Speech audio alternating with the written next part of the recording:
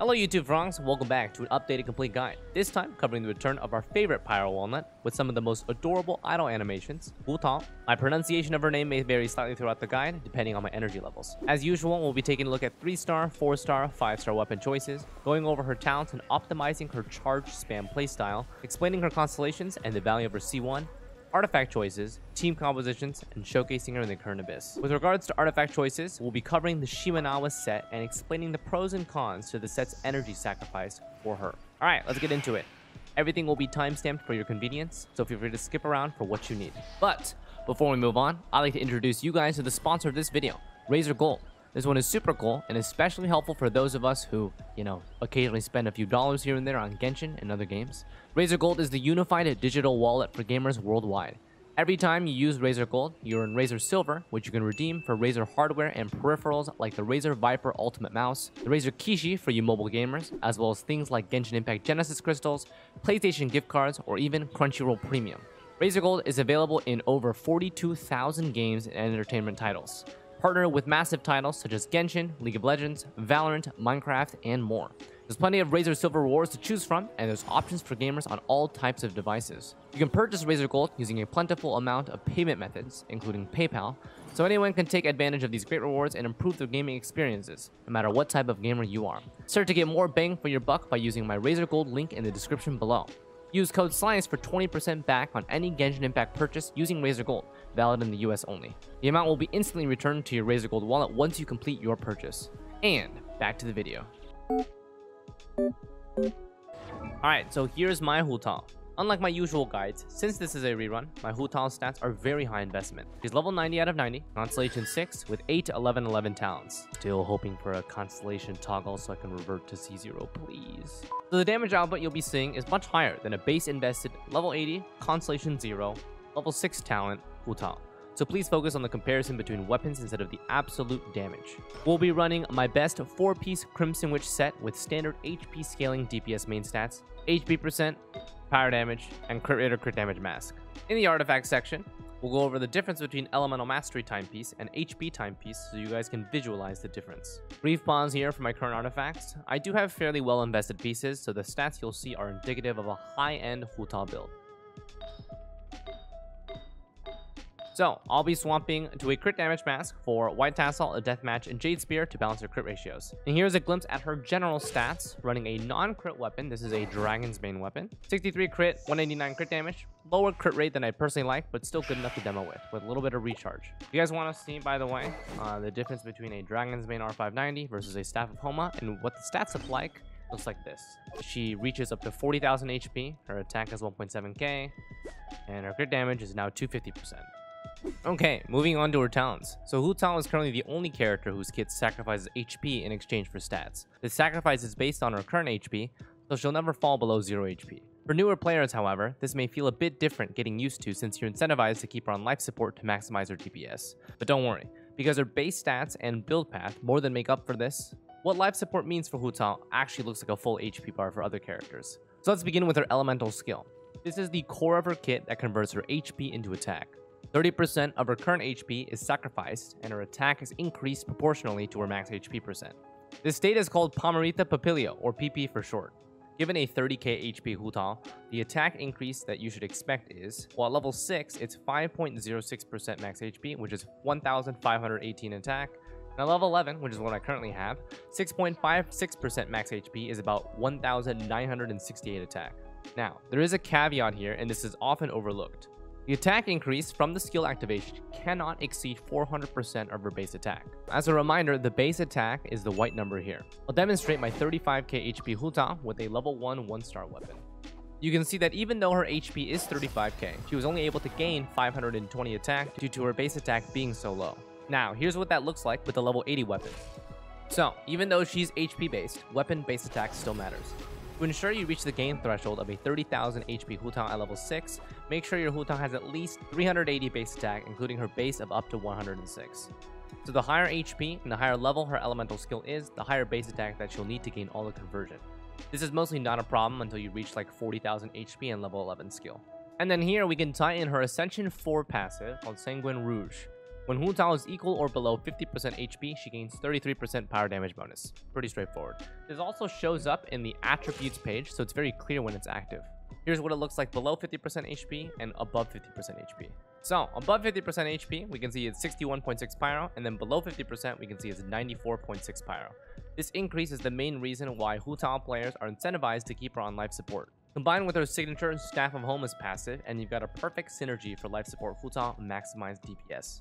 Okay, and for the rest of her elemental skill. So, during her 9 second PP state, her attacks are pyro infused, and her charge attacks inflict a bleed called Blood Blossom that ticks every 4 seconds. This Blood Blossom damage is significant, can crit, and can react. With a cooldown of 16 seconds, the downtime between rotations rests at about 7 seconds. This downtime is very short and perfect for setting up her team supports. Be wary, however, that her PP state expires if she swaps out of the battlefield, so you're incentivized to prepare her supports prior to her entering the field. This also brings up her Ascension 1 passive. When her PP state ends, all party members excluding herself have a 12% crit rate increase for 8 seconds, a little extra team buff for that short duration where her skill is on cooldown. Alright, moving on to her normal attack. These are standard DPS polearm multipliers. We'll be narrowing down on 3 multipliers for her DPS rotations though, which will become clear why after the playstyle section. N1, N2, and her charge multiplier. Okay, and finally her burst. So, with her elemental skill constantly stealing her HP, her burst is where she can vampire it back up. This is her singular ghost slapping source of AoE that regenerates a percentage of HP per enemy hit up to 5 times. Her charge attack can technically hit multiple targets, but her burst is through AoE. Here's what that looks like only hitting 2 enemies versus 5 enemies. So we can see that both the damage and the healing is maximized under 50% HP. The HP regeneration you see is per enemy. So at level 11, she can regen up to 53 to 71% of her HP back. At level 6, this is 41 to 55%. So for talent priority, normal attack is highest priority for the raw multiplier increase to her charge attack spam. Then her skill for the increased HP conversion. Uh, I would generally recommend keeping normal attack and elemental skill at the same level, but prioritize normal attack first. And then finally, Burst is her major source of AoE. So all the skills are worth to level 8 and beyond though, so don't hold back. She's definitely a character where every slight increase in investment shows.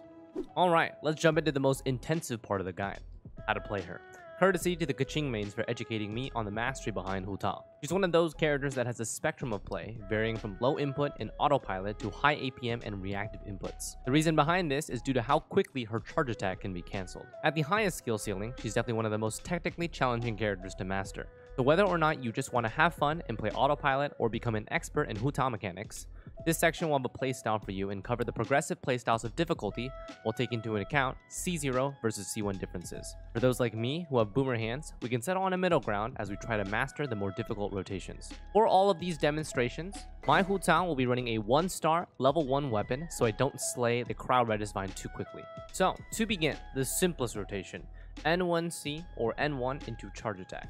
All that is required is a hold left click and directional keys to retarget. No dash canceling or jump canceling needed. During the duration of her PP state, she can achieve up to 9 combos of this. This demo shows me hitting 8.5 combos before her state expires. Now, adding in jump cancels or dash cancels. For C0 gamers, weaving in jump canceling allows Hu Tao to quickly end the animation of her charge attack to begin another N1C combo without sacrificing too much of her stamina bar. This rotation can be seen as N1CJ. This rotation generally achieves the same number of combos, 9, as N1C, with the benefit of controlling Hu Tao's position instead of having her fly off everywhere. All that is required in this rotation is the same left click hold into a jump at the beginning of the charge animation. From there, it's muscle memory building. Now, for my C1 gamers, weaving in dash cancels instead of jump cancels allows you to improve the number of combos during PP state, as well as introduce iframes and natural repositioning.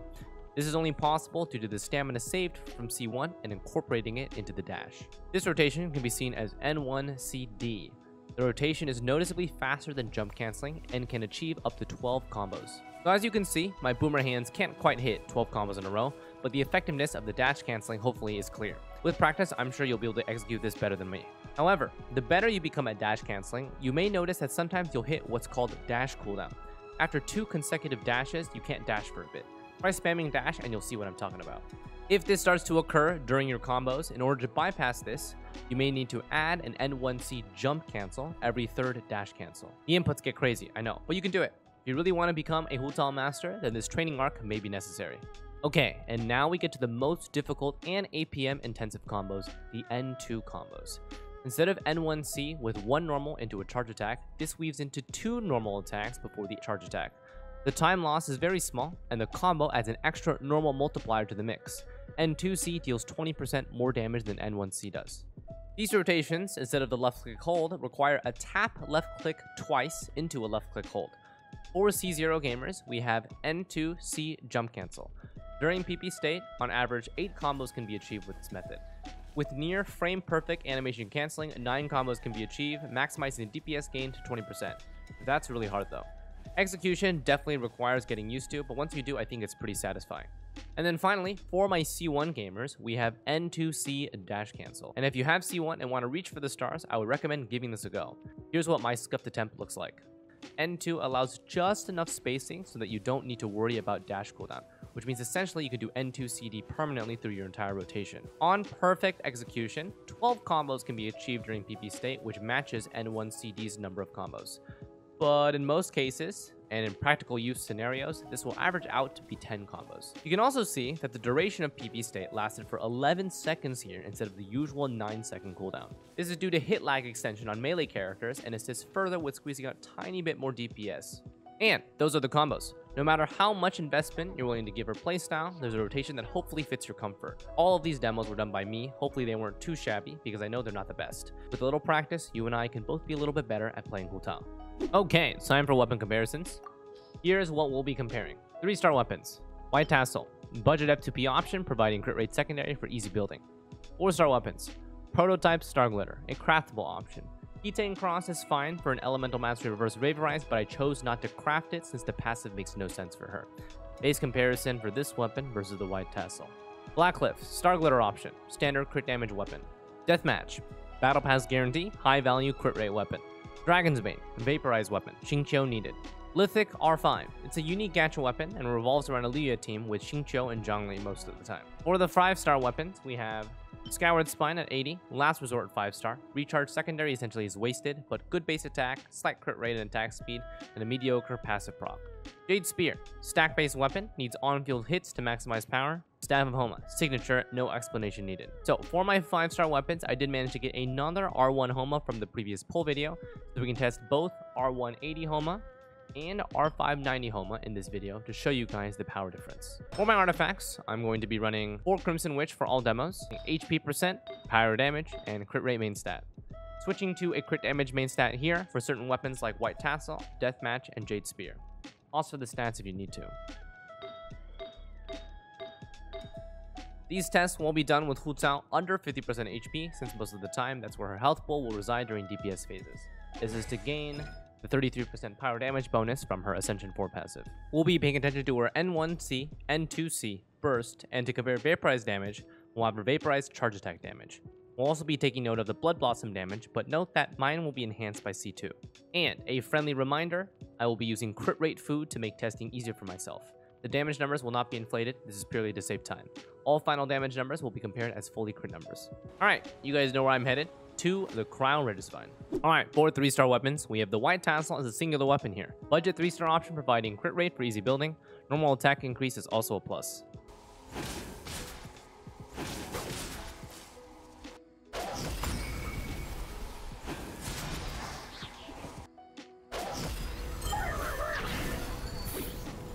So, 2-star, White Tassel is a great option for early game players starting out.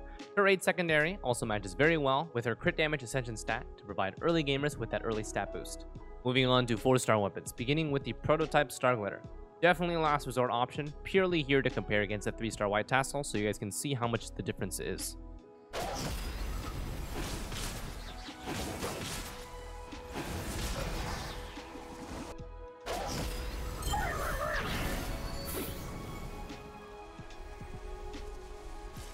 Okay, on to more fitting weapons.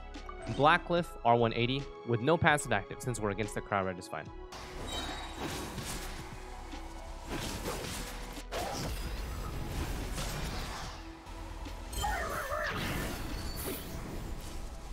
Next, Deathmatch at R180. Passive is naturally active here. Stats are very similar to Blackcliff, we have the crit rate ascension stat, so I'll be using a crit damage mask to compensate for it. You'll notice that for most of these weapons, uh, the crit rate and crit damage will be relatively similar.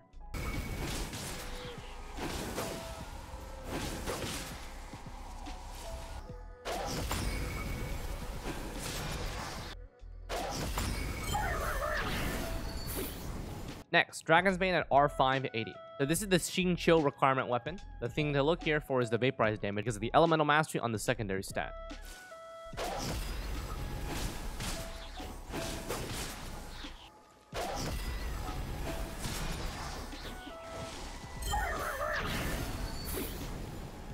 And lastly, and more uniquely, the Lithic Spear. For this weapon, we're going to have three Liyue party members, including Hu Tao, so adding Zhongli and Xingqiu. I'll be switching to a crit damage mask for this weapon as well, since the passive provides 21 crit rate at R5 with three party members.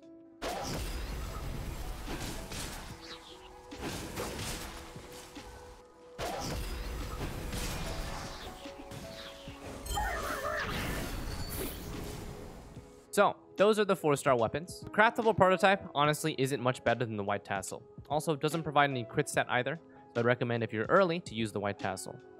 Between the Blackcliff and the Deathmatch, Blackcliff, even with 0 stacks, still outputted more damage. But don't forget that the Deathmatch's crit rate is significantly higher, so they'll be more consistent. That being said, Blackcliff with 2 or more stacks and higher refine will be able to match that. In my personal opinion though, I would still prefer to use Deathmatch here if you have the Battle Pass, due to the universal passive and the 33.5 crit rate. Dragon's Bane. So this is definitely a massive power spike, especially if running Vaporize with Xingqiu. Unfortunately, the value does fall off if not running a Vaporize composition and if you aren't able to get those Vaporizes on your charge attacks. And finally, Lithic Spear R5. If you do have this weapon with decent refinement, it packs quite a punch and has a really common team that satisfies the passive stacks with Zhongli and Xingqiu. Damage is significantly higher than the other 4-star options, and is only 10% weaker than a vaporized R5 Dragon's Bane. This weapon, unfortunately, is pre 2.0 though, so newer players have zero access to this weapon. Overall though, the weapon choices are actually not that many for Hu Tao. Without the Battle Pass Deathmatch, hopefully you grab the Dragon's Bane somewhere, since most of you will be running the Vaporized composition. If not though, you may need to spend Star Glitter for the Blackcliff or settle with the White Tassel. Alright, next, 5 star weapons. So, three choices here, with the only one being a significant boost over the 4-star. Skyward Spine at R180. Demonstrating the power of this weapon on Hu Tao so you guys can see the comparison between the 4-star options.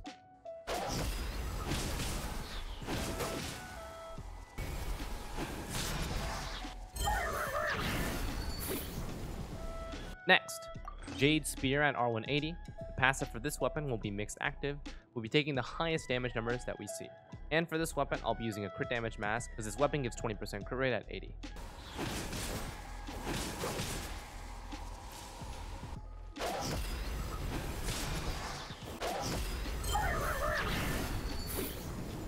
And of course, Staff of Homa in both R180 and R590 form. I'll be testing both and demonstrating them both. Her signature weapon, here's how much stronger it is compared to everything else.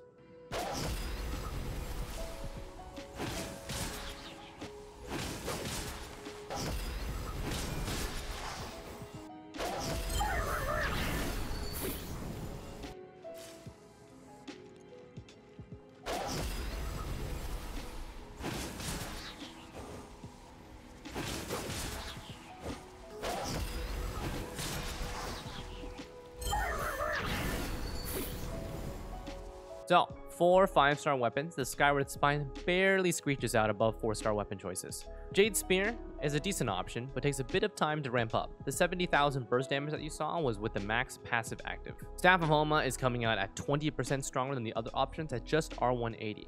At R590, we see an additional 20 to 25% damage gain on top of the R180 Homa.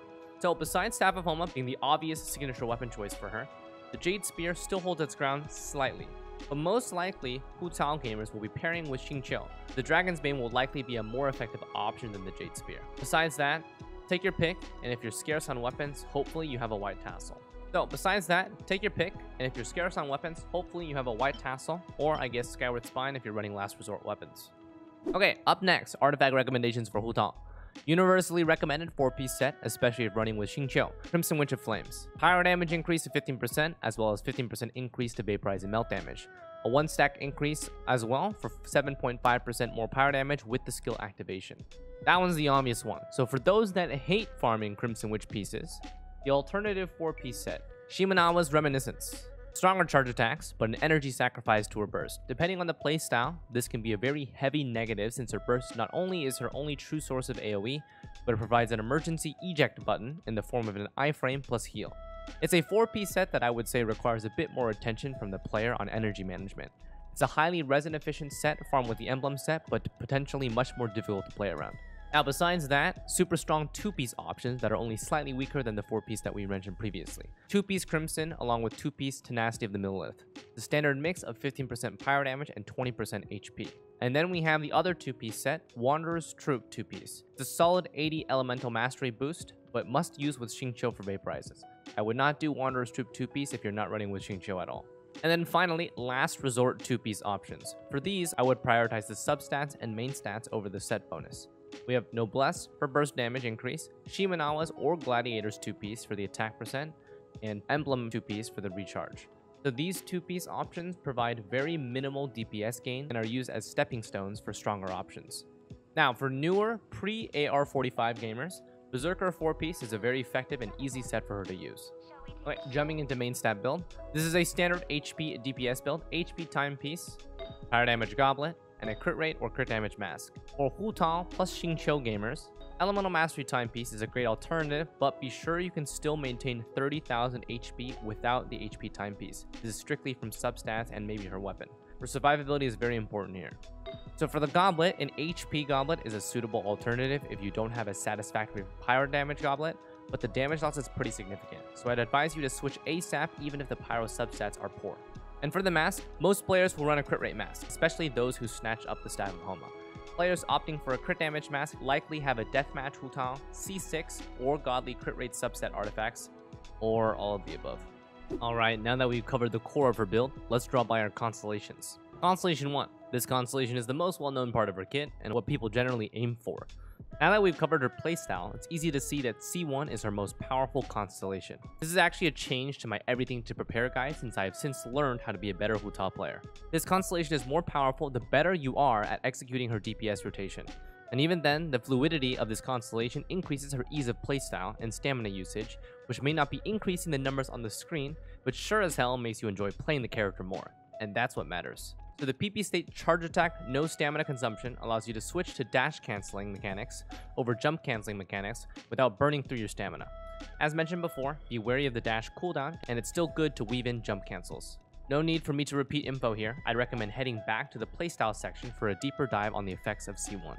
The DPS increase is hard to put into numbers, but in general, you'd expect a 15 to 20% increase on top of fluid execution. Constellation 2. So, this is Blossom Bleed damage now incorporates 10% of her max HP, which is affected by crit as well, and is now applied on her burst. So this roughly doubles her Blossom damage, which is fairly significant, and extend her DPS to the off-field if applied on her AoE burst. You guys saw the damage output that was happening through my weapon comparisons. For her full rotation, this may account for about 5% of her DPS increase. C3 plus 3 levels to her skill scaling, more HP conversion, and blossom damage. Plus 3 levels is a 0.9% max HP conversion increase, so a 30k HP Hu Tao gains 270 attack from this constellation. 270 attack, depending on the type of build that you're running, can vary between 10% to 12% damage increase. C4, this is an extension of her Ascension 1 passive, providing party crit rate. This does not affect herself, so it's just a team buff. On top of her Ascension 1 though, this can build to a 24% crit rate buff to the team, which is very significant and noticeable team DPS increase. This is mostly info for C6 whales though. Constellation 5, plus 2 levels to burst, nothing to say here. Constellation 6, for my whales out there, C6 is the Tryndamere passive for Hu Though it's mostly known for the fun 5% crit rate, 300% crit damage memes, this constellation is actually a super solid one given how easy it is to proc herself with her skill. Since her skill sacrifices 30% of her current HP every single time, hitting below 25% HP or suffering lethal strike is actually fairly common. For general usage though, I would view this constellation as a quality of life feature that buffs you rather than one that you should build around. For example, still maintain a solid crit rate to crit damage ratio for general usage. You can go a little bit lower crit rate though, and then once this procs, whenever you drop below 25%, you get a steroid buff for 10 seconds. Okay, let's jump into team compositions. Hu Tao, greedy main DPS, on field for 9 seconds or longer with hit lag extension and wants to spam her combos as much as possible. Has internal cooldown ignore on her charge attack for vaporize and melt spam. So first up then, we have Hu Tao plus Xingqiu. Strongest composition for Hu Tao with Xingqiu as an off-field Hydro enabler and the only consistent one able to keep up that Hydro application so Hu Tao can abuse her ICD ignore charge attack. Two ways to build this comp further out. Shield with Zhongli. Fourth unit if you have him Albedo for the additional sub DPS, and his burst providing elemental mastery for the team for increased reaction damage. Any other sub DPS works here. This is a super safe composition with lots of survivability for Hu Tao to maintain her HP threshold below 50%. Second, double Pyro with Kazuha or Sucrose as an Anemo enabler. Second, double Pyro with Kazuha or Sucrose. A no shield comp so Hu Tao is more susceptible to damage and interruption. Higher DPS ceilings with Kazuha Sucrose buffing, either elemental damage bonus from Kazuha or elemental mastery transfer from Sucrose and Viridescent Shred. Second pyro is to apply pyro for the swirl, since Hu Tao cannot effectively apply pyro without activating her elemental skill and then she can't swap out. So for the second pyro, Xiangling is dangerous and she can steal vaporizes with her pyronado. Other potential pyro enablers are Amber and Thoma. Amber at C6 provides additional buff, and if you have Elegy, she's a great user of that weapon here. Thoma is great for additional survivability and micro shields to stop interruptions. Bennett I would not advise since the point of using Hu Tao is to save Bennett for your other team since she doesn't want to be healed above 50%. So, this leads to a composition without Xingqiu, Mono Pyro. Highly recommend Kazuha for this composition. Sucrose here is a lot more clunky but can fulfill this role at C6. If you run this comp in Abyss, most of the time your other half will be pure freeze, in that case, this composition is going to slam all the OP Pyro units into one composition. Hu Tao, Xiangling, Bennett, and Kazuha. It's okay to use Bennett here because again, this comp is incentivizing freeze on the other side. Bennett's detriment healing Hu Tao above 50% is compensated by his attack buff to both her and Xiangling. Melt viabilities if you don't have Xingqiu. Kaeya and Rosaria for the consistent cryo application and Kazuha Sucrose to apply even more cryo.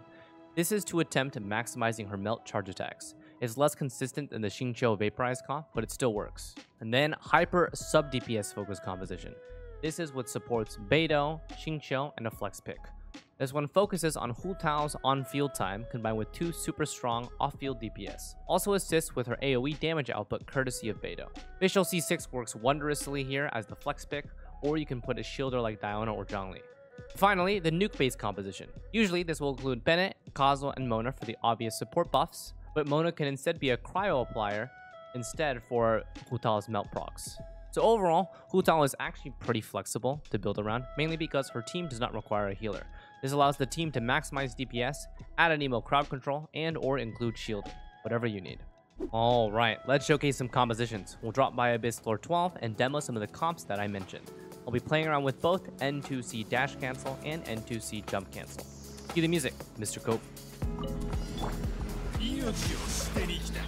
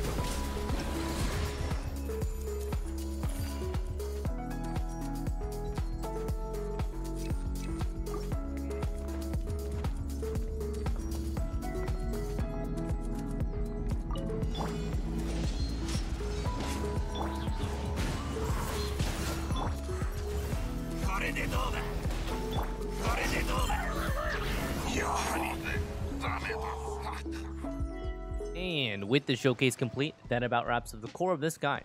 With extremely high single target damage potential and ceiling for skill expression, Hu Tao excels at maximizing reaction based damage with her ICD ignoring charge attack.